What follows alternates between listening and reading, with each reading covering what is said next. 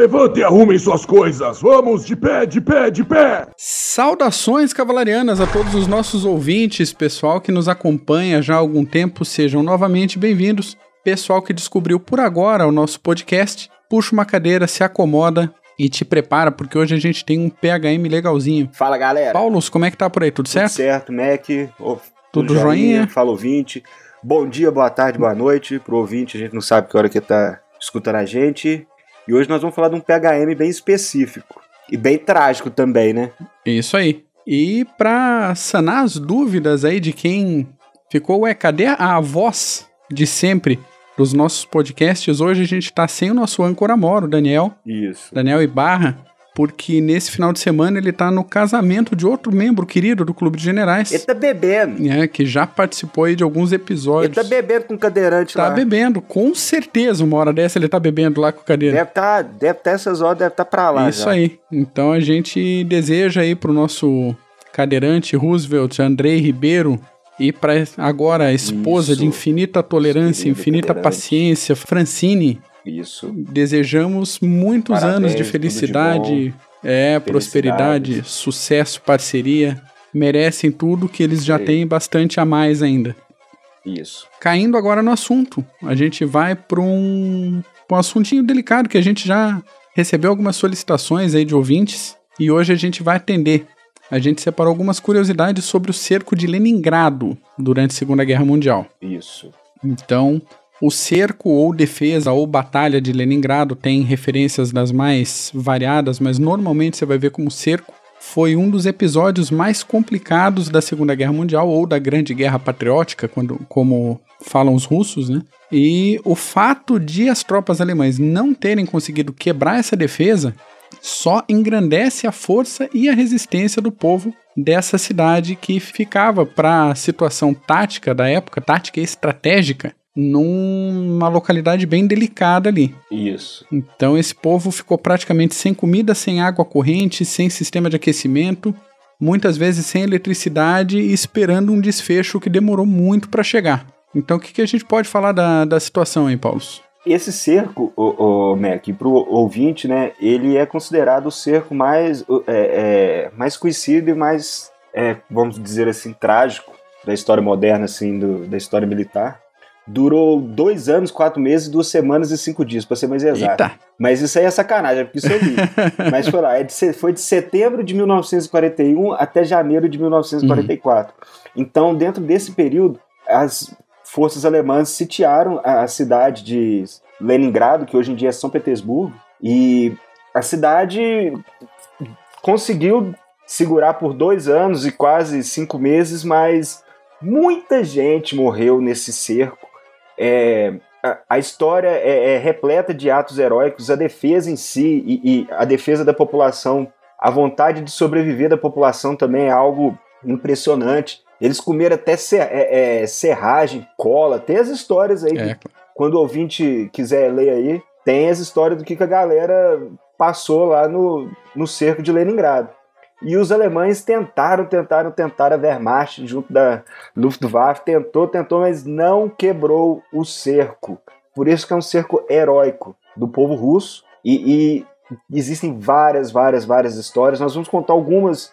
é, nós não vamos explicar hoje essas partes é, operacional, estratégica. Nós vamos contar alguns fatos da- do cerco de Leningrado. Mas isso aí já vai dar para dar um contexto excelente do que foi é, é, essa tragédia. A gente fala do mundo moderno, né? Porque a gente fica citando história militar aí desde. Se brincadeira, desde os faraós. Sim. Mas vamos dizer assim, do século XX, XXI, desde a Primeira e Segunda Guerra, de- em termos de cerco, esse foi o mais trágico e o mais pesado. A história também, depois a gente vai falar aí dos números de mortos aí que va- variam de 600 mil até 1 milhão e meio que citam. Então, só para ver que que a coisa foi um foi tensa. Muito brabo. É. E Foi. já entrando nessa questão que você falou da duração do cerco, foram 872 dias de cerco. E foi. é, isso começou, esse cerco começou pouca coisa, pouco mais de dois meses após a invasão alemã, o início da, da invasão Isso. ali na fronteira soviética.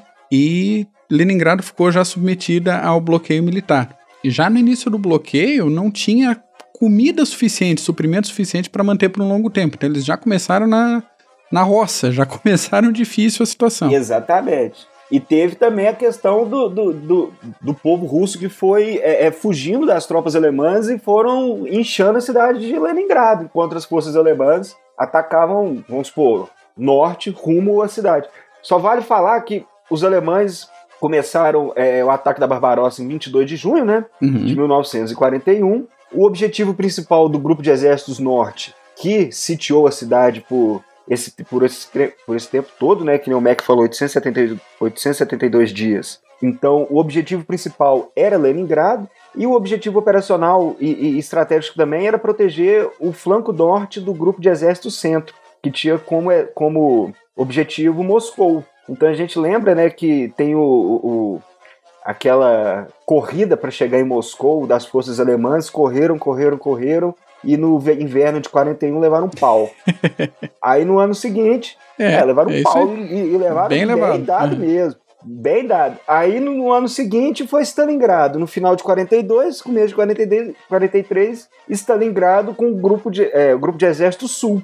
E em 44 tem o final do cerco de Leningrado. Então, é, é, em termos assim de import, não vamos falar importância, mas Leningrado está entre a Batalha de Moscou, vamos falar assim, Moscou, Stalingrado, Kursk uhum. e cerco de Leningrado como uma das mais conhecidas, né, da Barbarossa, da, da, da frente oriental da Segunda Guerra Mundial. Certamente. Só para dar um contexto aí, começou em 22 de junho e as primeiras granadas começaram a cair na cidade já em setembro. Então em setembro já começou o cerco de 41 e foi até 44. Pesado, hein? Não é, é para segurar. Mas que nem, só fazendo um adendo aí, ô, ô Mac, que nem a gente preparou, foram 872 dias de cerco. Mas isso aí é quase nada, viu, gente? Nós separamos cinco cercos aqui da história que vocês vão ver que esses dois anos e cinco meses aí foram pequenos. É, só citando rapidinho, tem, tem o cerco de Drepana, que durou oito anos, que foi na Primeira Guerra Púnica entre os cartagineses e os romanos. Oito anos. Tem o cerco de Tessalônica, que foi oito anos também, de 1422 até 1430, entre o Império Bizantino e as forças otomanas. Então tem esse de oito anos também. Agora nós vamos para o cerco de Ishimaya Honganshi, que é no Japão, que durou 10 anos, que era entre a guerra do, daqueles warlords lá, uhum. daqueles senhores da guerra. Tinha o Oda Nobunaga contra os monges Ikuiki, que são chamados assim pelo Japão moderno. Mas esse cerco dessa cidade chamada Ishiyama Honganshi durou 10 anos. Tem o cerco de Fila a queda de Filadélfia, que foi um cerco também que durou 12 anos, que foi também do Império Bizantino contra os turcos, de novo, só que nesse, uhum. nessa época foi de 1378 a 1390, e o vencedor, o cerco Acândia, de 1648 a 1669, quando o, o, o Império Otomano é, cercou a cidade que nessa época era governada por Veneza. Então os cavaleiros, os cavaleiros de Malta atacaram um comboio otomano e o sultão foi lá e enviou só 60 mil soldados para cercar Cara, foi a cidade. 21 anos ou errei a conta? 22. 22 anos. 22. Puxa vida. Olha isso. Mas isso é a Idade Média. Agora nós estamos falando de tempos modernos e o cerco de Leningrado para os tempos Era modernos. Era outra, é outra dinâmica de guerra. É uma né? tragédia tremenda. Sem dúvida nenhuma. Isso. Sem dúvida nenhuma. E como tragédia pouco é bobagem. Mas manda bala aí. Mano. É, como tragédia pouco é bobagem, teve inverno, né? Inverno e Rússia estão aí sempre de mão dadas na, na história. E o primeiro inverno do cerco foi o mais complicado aí para os habitantes durante todo o, o período. A temperatura da cidade permaneceu muito baixa, e muito baixa, digo baixa mesmo, até o mês de maio, que é quando as temperaturas normalmente já estão a menos meia estação. Tá quase querendo ficar verãozinho e a, a temperatura continuava baixa demais. Nesse inverno foi comum as temperaturas baterem a casa aí de 32 graus negativos. Então, pra gente que tava tá sob cerco, sob bombardeio, sob situações limite, ainda pegar 32 graus abaixo de zero, a coisa era complicada. E como se não bastasse o frio e a falta de comida, a monstruosa quantidade de neve que caiu esse ano também deu mais dificuldades para a vida diária do pessoal que estava circulando por Leningrado. Não, isso é difícil para os atacantes, imagina também para defesa. Pois é. E o povo sem comida, sem é, é, é, formas de se esquentar naquele inverno rigoroso, porque, poxa, já, já tá cercado. Quando pensa assim, pô, não vai acontecer mais nada de ruim, né? Olha que merda. Já, já vem o pior inverno que foi registrado naquela época. Sim, sim. Então, poxa, aí a sorte deles que com esse inverno, pelo menos deram para atravessar, usar uma linha de suprimento no Ladoga, que no Lago Ladoga, né? Onde São Petersburgo fica, mas é, já estão cercados. Desgraça pouco é bobagem, tem como piorar? Tem, veio o pior inverno. pois é, pois é, complicado. Tem relatos dessa época que eu li, até vou, a gente vai comentar um pouco de bibliografia depois, de cidades que de, de cidades, de escolas que permaneceram funcionando e que tinham na época só aquele aquecimentozinho a lenha. Era como se fosse uma, uma lareirazinha de metal. Isso. E uma tubulação que começava horizontal e depois subia pro, pro forro da escola. Então as crianças que conseguiam chegar mais cedo, apesar da dificuldade, apesar da fome, sentavam imediatamente em volta ali da, do, da lareira e embaixo da tubulação aquecida. E as que chegavam depois tinham que ficar um pouco mais afastadas. As que ficavam mais afastadas, aí entra relatos da, das professoras, muitas vezes não sobreviviam até o final do dia de aula. E daí já tinham que ser sepultadas pela família. É. Tá doido. Então é uma coisa terrível, assim, os relatos dessa época terríveis. E um outro relato também que eu lembro de, de comentando sobre isso agora era de uma trabalhadora de uma das fábricas da cidade que morava a pouco mais de 400 metros da fábrica e levava quase duas horas para fazer o percurso. Que ela dava dois ou três passos e sentia uma fraqueza e quase desmaiava e ficava abaixada segurando no murinho da, das outras casas, esperava voltar a energia, dava mais três, quatro passos, quase desmaiava e assim ela fazia o percurso de ida e volta todo dia para ir trabalhar, porque o trabalho para ela era o único motivo de continuar viva e resistindo. É, em nome da, da cidade, da população, era o jeito dela de ajudar. Quando a gente fala que Leningrado foi complicado, gente, heroína, foi né? complicado, mais uma heroína. E a gente falou agora desse negócio da alimentação. O frio é difícil, o cerco é difícil, o bombardeio é difícil, mas a fome tá aí, né?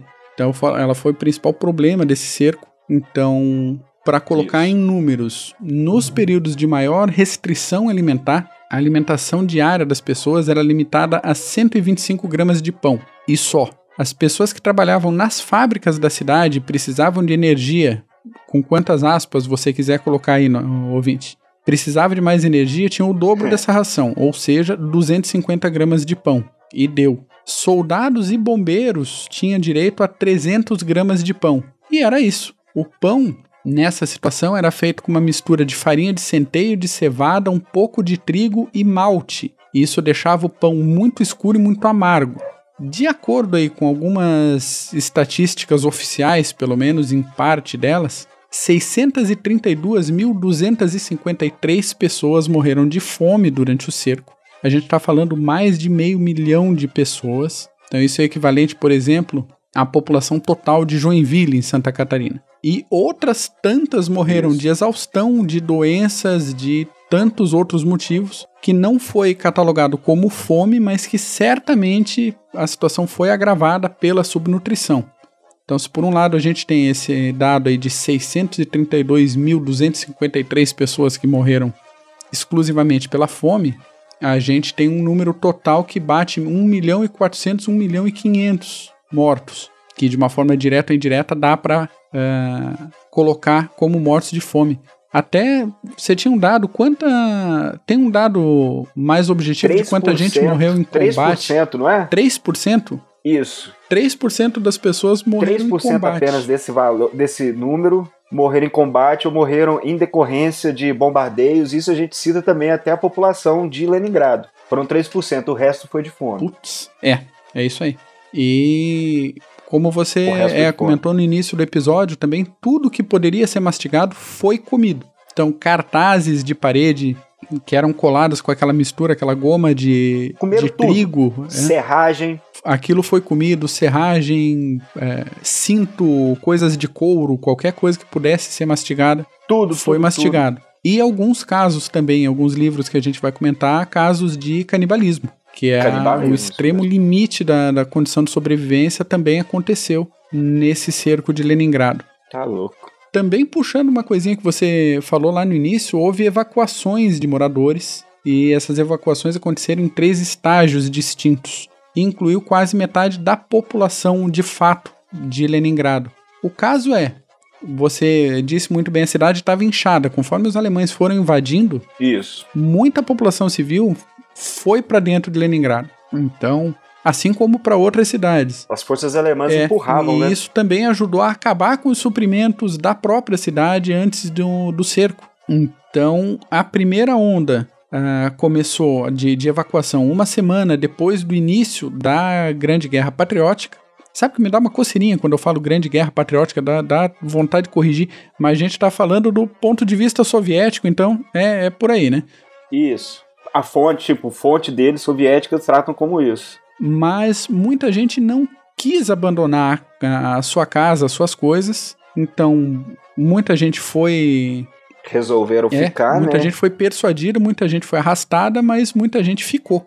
E ficou para ver o que, que ia acontecer e acabaram entrando, boa parte delas, naquela estatística que a gente falou agora há pouco. Isso. Outras duas levas aconteceram pelo Lago Ladoga durante já o cerco. Quem teve chance de sair em situações menos piores antes saiu. Quem não teve ficou e ainda assim, com essas outras duas levas de, de retirada, muita gente preferiu ficar e manter o, o chão da cidade e resistir, né? Diga lá. E resistir. Eu, eu, eu tava lembrando, eu acho que cita, quem cita isso é até o Alan Wikes lá do livro da Rennes, quando cita sobre o. Tem o livro da Rennes, que nós, já dando spoiler aí pro ouvinte, que nós vamos citar mais tarde, como bibli- bibliografia, mas a ponto de dos russos é, mandarem é, mergulhadores no Lago Ladoga para tentar. é, no começo do cerco, os alemães com artilharia afundaram vários navios de suprimento. Então, um- eles chegaram a um ponto de mandar mergulhadores para tentar retirar do fundo do lago o que tinha de comida e, e- e- e provisões é, dentro do- do- dos navios afundados para tentar ver se conseguiam aumentar os suprimentos da cidade. Mas mesmo assim, pouca coisa. Mais um fato que mostra a, a- a- situação que chegou à cidade, né? E o, o dia a dia era marcado por som. O dia a dia de Leningrado era marcado por som. Então, para alertar os moradores sobre ataques inimigos, foi instalado na cidade mais de 1.500 caixas de som. Isso. Então, normalmente essas caixinhas de som tocavam o, o, o som, o barulhinho, né, o ritmo de um metrônomo, né, que é um aparelhinho bem conhecido aí pelos nossos ouvintes que trabalham com música ou que já aprenderam a tocar algum instrumento musical. Quando o som do metrônomo estava lento, ele passava a, a impressão e a mensagem de tranquilidade e de segurança. Tava tudo mais ou menos ok, apesar das dificuldades do dia a dia. Quando o ritmo desse metrônomo era acelerado, a população já sabia que algo tenso, como um ataque aéreo, estava para acontecer. Então, o ritmo e a preparação da cidade ficavam em função desse metrônomo que batia o ritmozinho o tempo todo no rádio. Desse- e desses alto-falantes. O negócio é que a população também, para isso, era proibida de desligar os rádios em casa. Então, todos os rádios da cidade tinham que estar ligados para que todo mundo estivesse de acordo, sabendo a atualização da cidade. Todo mundo alinhado. Então, além desse som do metrônomo, aí as notícias sobre ataques inimigos e é, sobre atualizações da, do cotidiano da cidade, alguma situação tática, algum suprimento, alguma coisa, eram também transmitidos pelo rádio, mas o som padrão de Leningrado durante o cerco era o tec, tec, tec, tec desse metrônomo. Que coisa curiosa, né? Isso aí. Agora imagina o tanto que deve ser sombrio isso à noite, você naquele cerco, naquele inverno pesado. É, um número que nós não citamos, que eu era pra, pra até eu, eu ia falar no começo, para você ver. 150 mil bombas caíram em Leningrado, Caramba. junto da Força Aérea Alemã e a artilharia alemã no cerco, nesses dois anos e quase cinco meses. Então, é, esses, essas caixas de som meio que eram o fio de vida da, da, da população para tentar se esconder, para tentar, quando acontecesse algo, para tentar se proteger. Pois é, e a situação também alemã, pensando nos atacantes, não era muito melhor do que quem estava no cerco, não, porque as linhas de abastecimento não chegavam, na maioria das vezes, e tanto quando deu a, a retirada dos alemães, eles deixaram peça de artilharia para trás, munição, tudo, eles queriam voltar para um lugar que chegasse logística. Isso- Ah, logística. Logística sempre se fez, ainda mais em Rú- Rússia, logística é, é- não bate. pois é, né?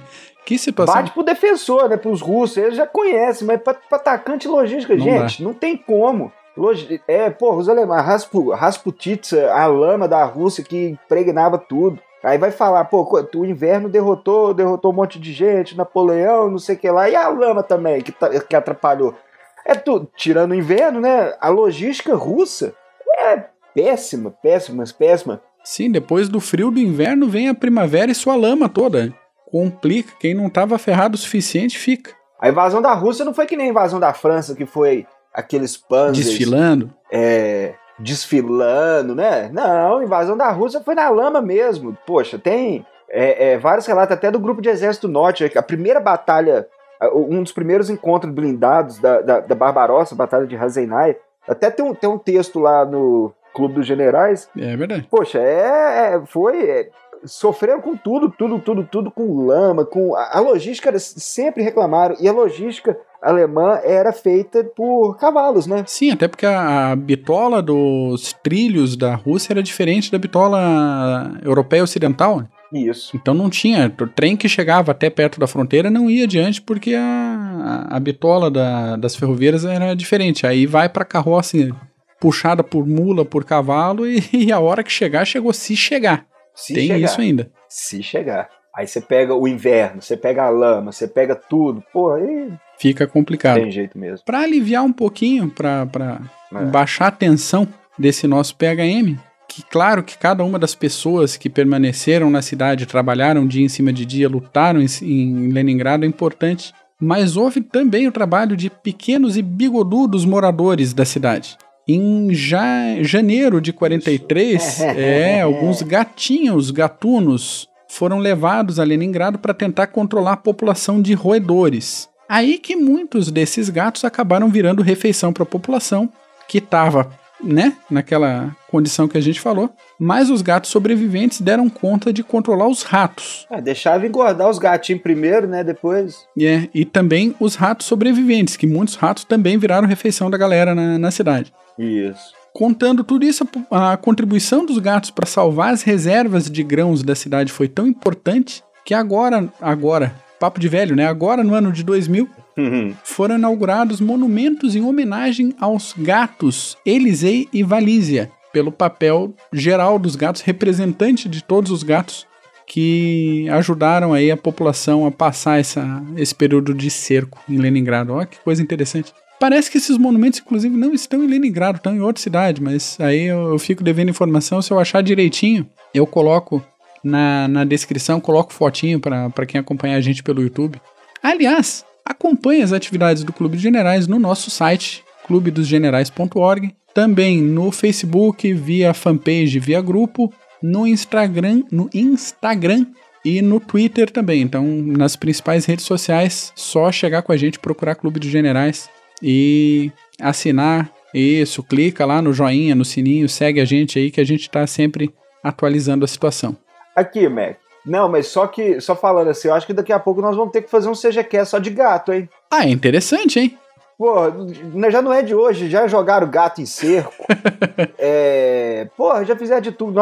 Do que eu lembro, eu acho que nós já citamos uns três vezes os bichanos aí, tendo papel é, em alguma parte específica aí da história militar. É, vamos, vamos pensar aí. Se você quiser, você ouvinte quiser mais para mais cedo, um PHM sobre gatos militares, escreve, manda uma mensagem pra gente aí que a gente agiliza esse episódio. Bibliografia, alguma coisa separada, Dom Paulos? Vamos. Eu separei uma que é muito fácil pro ouvinte que quiser é, é, se especificar mais, aprofundar um pouco no, no tema, né, que é o cerco, que é o livro da Rennes, né? Uhum. que é o do Alan White, O Cerco de Leningrado, que é muito fácil, em qualquer sebo você acha esse, esse livro. Esse livro no- na internet deve ser. Poxa, para- o livro da Rennes, usado é bem barato, então a minha bibliografia é essa. Até porque a outra que eu ia citar, você.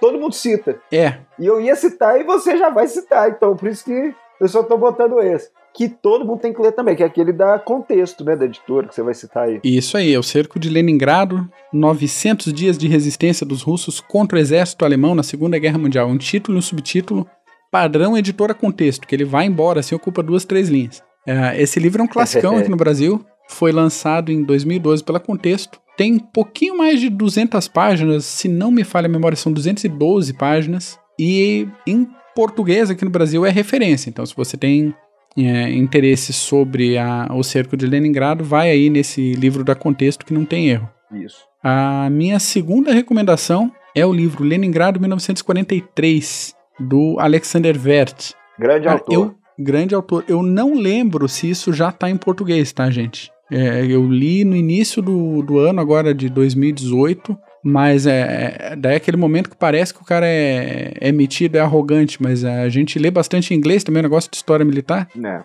E daí eu não lembro se está em português ou em inglês, mas de qualquer forma, o autor ele era repórter e ele foi um dos primeiros ocidentais a entrar em Leningrado depois do fim do cerco. Ele também acompanhou durante a guerra, que ele era um, um repórter britânico que acompanhava o fronte do Exército Vermelho. Então ele acompanhou a libertação dos primeiros campos de extermínio nazistas e mandou relatos para a BBC de Londres. E a equipe que estava confortavelmente tomando seu chá das 5 lá bonitinho achou que ele estava sendo simplesmente enganado pela propaganda de guerra soviética e não deu crédito para ele quando ele começou a fazer as primeiras denúncias do horror extremo dos campos de extermínio nazistas. Então, para o relato dele sobre Leningrado, é, se também pedindo desculpa pela falta de memória, esse livro, se não me engano, já foi lançado as primeiras edições dele em 44, tá?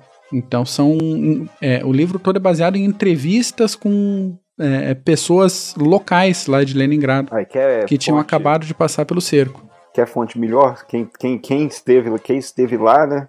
O, Ale- o Alexander Werf, Werf, Werf, né? Ele tem um livro muito É. bom. É, não é, é um livro, não, são dois, um livro dois volumes, né? Que é a guerra na Rússia, só é, vista pelo lado russo. Aí você falou, ah, você vai me perdoar aí pelo, pela memória. Eu também não lembro também o título. tem que procurar pelo autor. Mas eu peço desculpa aí pro ouvinte, pro, pro Beck também. Não lembro também o nome do livro, mas ele são dois volumes e é um calhamaço. Os dois volumes são É, a gente vai ver se acha os links e vai botar aqui na, na na descrição descrição do embaixo, episódio. aí. É. O terceiro livro que eu ia comentar agora chama-se 900 Days. Esse certamente está em inglês, tá? The Siege of Leningrad. Ele é um calhamação, mais de 650 páginas. Ele dá o relato mais completo até agora sobre esse episódio. Esse eu ainda não li, tá na minha fila. Mas o nosso Smith leu e disse que é imperdível. Eu, como sou é, fã do Smith, quando o Smith fala, a água para. Isso aí. confio na palavra dele. Eu também. eu faço a recomendação, é, faço a recomendação indireta desse livro. E o, o link tá embaixo. Se o Smith falou, Se o Smith falou, não tem erro. boa. É porque o trem é bom. É porque o trem é bom, certamente. Outros relatos mais esparsos podem ser encontrados também em livros que falam do fronte leste de uma forma geral. Então, livros mais generalistas aí sobre a Segunda Guerra Mundial e sobre o fronte leste. Vai ter relatos certamente sobre o cerco de Leningrado. Ah, pô, E- um livro um pouco carel da vida aí. Que isso, né? tem muita coisa de Leningrado. Exatamente, exatamente. E na- especificamente nas obras A Guerra Não Tem Rosto de Mulher e As Últimas Testemunhas. Esses dois da Svetlana Alexievich, que é uma autora vencedora do Prêmio Nobel de Literatura do ano de 2015. O A Guerra Não Tem Rosto de Mulher, eu não lembro que ano que ele foi solto, foi solto, foi lançado aqui no Brasil, mas é recente, relativamente recente, e As Últimas Testemunhas saiu agora, saiu uns dois meses atrás ele foi lançado aqui.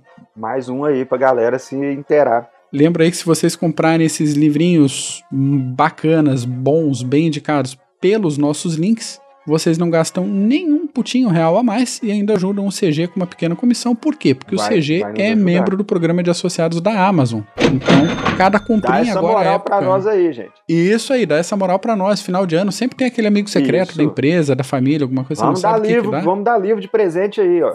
Isso aí, vamos dar livro pra galera. CG, o link, do CG na Amazon. Por favor. Isso. É isso por hoje, Dom Paulos. Isso. Muito bom. Falamos do cerco de Leningrado. Muito bom nossa conversa, mas o que um- uma história trágica, né? Mas que não pode ser esquecida aí nos anais aí da história militar. E tem que ser discutida. Com certeza. Com Certinho, certeza. Mac? E a partir da. Certinho, e a partir da próxima semana, a princípio, novamente com a presença do nosso Winston Churchill, Daniel Ibarra, junto com a gente, vamos continuar Isso. gravando. Se eu não estiver tomando uma ainda, né? Senão nós manda É. bala. Eu Senão vai a gente tá junto aqui, também. vamos gravar. um abraço. pro Maravilha. E pro cadeirante também, de novo. De novo, e parabéns pelo casamento, cadeira, e até a próxima, ouvinte. A próxima, Abração. ouvinte. Um abraço. Até mais. Fiquem com Deus.